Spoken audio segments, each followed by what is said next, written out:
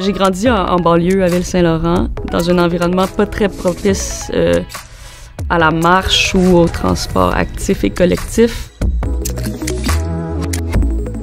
Donc, on dépendait souvent de la voiture pour aller chez nos amis, pour aller même au dépanneur. J'ai euh, été marquée par ça dans mon enfance. Puis ensuite, euh, j'ai étudié à Polytechnique, mais j'ai eu l'opportunité d'habiter dans différentes villes en Europe. Puis j'ai vraiment réalisé l'impact des transports sur euh, la qualité de vie, sur mon plaisir à habiter euh, en milieu urbain. Donc c'est un peu là que j'ai réalisé que je voulais m'enligner vers les transports. Donc dans mon parcours, euh, j'ai essayé de combiner justement différentes euh, perspectives. Donc le bac en génie, la maîtrise en environnement, mais vraiment plus dans une perspective de sciences sociales, qui a été un grand défi d'adaptation. Puis ensuite le doctorat en urbanisme, en urbanisme, pardon. Donc c'est vraiment intéressant d'avoir ces trois perspectives-là. Puis maintenant d'être de retour au génie, je me sens vraiment à ma place pour euh, contribuer à former des ingénieurs qui vont être capables de combiner les différentes perspectives dans la planification des transports ou la planification des villes.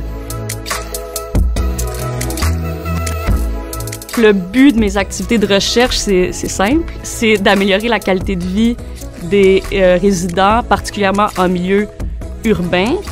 Donc, si on développe des villes, des réseaux de transport qui réduisent euh, la dépendance à l'automobile ou le, besoin de se déplacer en automobile, euh, ça a des impacts positifs sur l'environnement, sur la santé, sur le bien-être euh, psychologique, physique des individus. Une ville qui est développée autour de l'automobile va amener des disparités, des iniquités, tandis qu'une ville qui est plus axée vers une diversité de modes de transport va permettre un accès plus égal, puis éventuellement de réduire un peu certaines iniquités.